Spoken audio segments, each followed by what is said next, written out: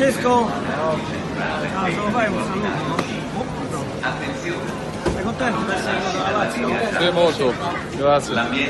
Moltissimo. Hai già parlato con Inzaghi? Sì. Grazie, Luino.